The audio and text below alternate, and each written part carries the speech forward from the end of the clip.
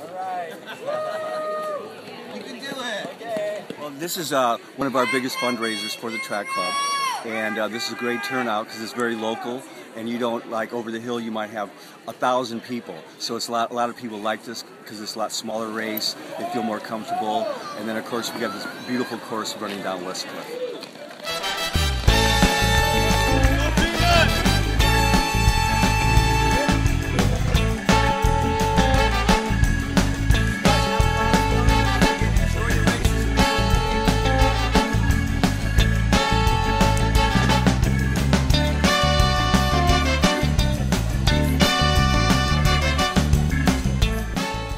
Definitely think we'll do it again. Do you want to do this again next year when you're a little bit bigger?